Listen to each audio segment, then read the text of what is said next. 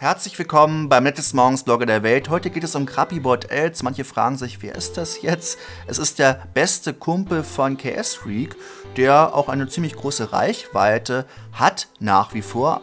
Eine Million Abonnenten auf YouTube und eine Million Follower auf Instagram. Und damit hat er es geschafft, trotzdem Insolvenz jetzt anmelden zu müssen und hat einige Fehler begangen. Er hat jetzt auch ein Statement hochgeladen und darauf will ich jetzt mal eingehen.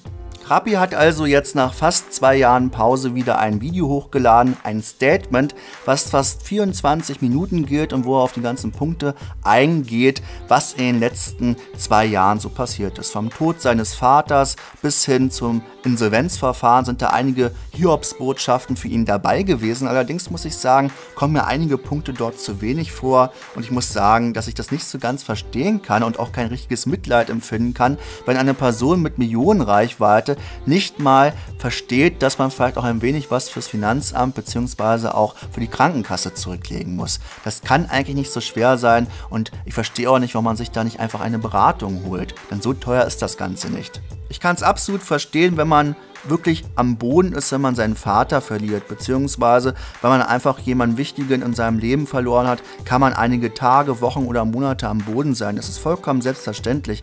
Da will ich ihm auch gar nichts Böses. Aber wenn er jetzt wirklich die ganzen zwei Jahre lang kein einziges Video hochlädt und sich nur auf Instagram anscheinend konzentriert hat, wo er auch eine Million Reichweite hat, wo es eigentlich kein Problem sein sollte, genug Geld zu erwirtschaften. Die müssen da teilweise nur ein Bild posten verdienen mehrere tausend Euro pro Post oder können Videos hochladen, wo die ganz schnell 100, 200, 300, 400.000 Klicks haben pro Video und mehrere tausend Euro teilweise pro Video auch verdienen können, dann habe ich einfach kein Verständnis für, wenn man zwei Jahre auf YouTube nichts hochlädt. Es kann einen schlecht gehen, man kann auch durch eine schlechte Phase gehen, man kann vielleicht auch wirklich ja, sich Hilfe suchen in der Zeit. Es ist vollkommen legitim, auch mal eine Pause einzulegen, aber sich dann überhaupt nicht darum zu kümmern, vielleicht auch Geld zu erwirtschaften und wenn man dann auch Geld erwirtschaftet hat in Hunderttausenden Beträgen, also da waren von 200.000 Euro innerhalb von zwei Monaten die Rede, die er dann auch mit KSFIC vielleicht geteilt hat, dann sind das trotzdem, wenn man alle Abzüge davon abrechnet und auch die Krankenkasse mit einbezieht. Wenn man einfach 50.000 davon weglegt, sind das 50.000 innerhalb von ein oder zwei Monaten.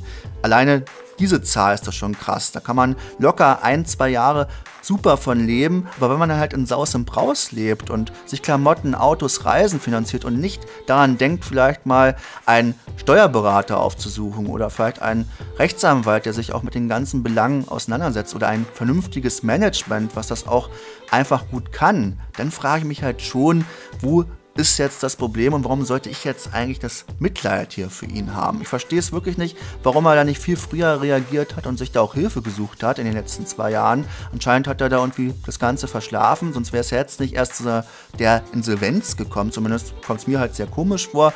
Das ist so meine Meinung. Ihr könnt auch eure ganz sachlich mal unten reinschreiben. Empfindet ihr da noch Mitleid oder sagt ihr auch, nee, mit solchen Leuten habe ich nicht wirklich viel Mitleid, denn eigentlich wäre es doch kein Problem, zwei, drei Videos die Woche hochzuladen. Das mache ich auch die ganze Zeit. Und der hat eine viel größere Reichweite. Auf Instagram ein paar Bilder posten ist jetzt auch nicht so schwierig. Und man kann da so viel Geld verdienen. Es ist ein Privileg, so sein Geld verdienen zu können. Der kann mit Reisen und Co. sein Geld verdienen. Er hat so viele Möglichkeiten. Also ich biete mich da auch gern an. Ich würde ihn sogar auch nicht bescheißen wie sein Ex-Manager. Würde einfach sagen, Mensch, wir machen 20 zu 80. Also du kriegst 80, ich 20, wenn ich da irgendwelche Deals aus aus, äh, aus klar mache für ihn, dann würde ich dann einfach äh, sagen, komm, 20% machen vernünftige Verträge miteinander und fertig ist das Ding. Das ist doch nicht so schwer. Und er wird ja bestimmt auch noch Leute finden, die da äh, mit ihm zusammenarbeiten in Zukunft. Und so schwer ist das gleich bei der Reichweite auch nicht. Mehrere tausend Euro pro Post, pro Werbung und Co. zu verdienen. Und gerade auch mit der Millionenreichweite finde ich es auch sehr bitter, wenn man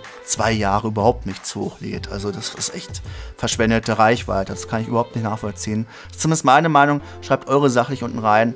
Bis bald und ciao, ciao.